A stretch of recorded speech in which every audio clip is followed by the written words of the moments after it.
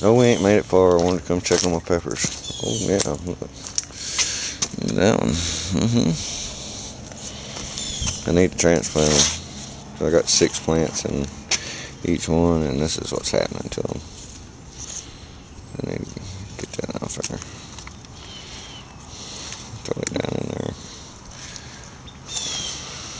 Supposed to be giant bell peppers too, and that, all I get, I'm getting about that big. That's giant red bell pepper, by the way. yeah. Squashes didn't make it, but now I can move all this stuff and start uh, doing something with it. I'm gonna go right over there and start plowing and then cultivating or whatever and mulching and go ahead and start getting the garden ready. Means I'll grab all this dead grass right here and drag it off. Mm-hmm. These little boogers here just popped up looking fantastic. And been saving them. She come out here and transplant them. She's getting them out of this right here. She had some in here.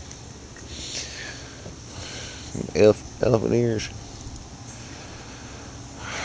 Alright, well, best I can do. Y'all enjoy.